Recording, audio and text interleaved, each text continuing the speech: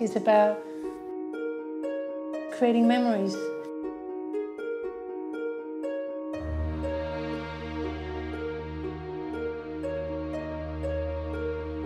I like timeless and I like classic.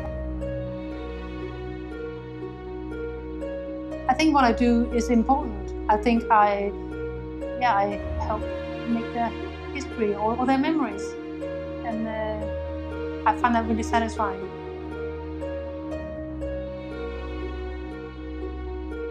They have something to remember what it was like. What I set out to do is I want to tell a story about a moment in time. Weddings are actually perfect for that.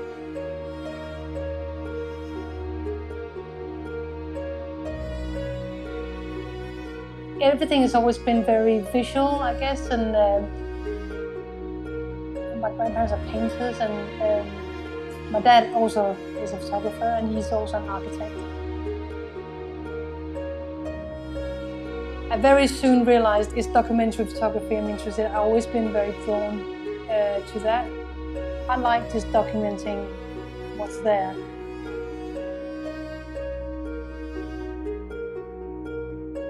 What I really like to do is to tell the story. I like to have longer time. I like to, yeah, to do like a reportage. I love the old-fashioned documentary style.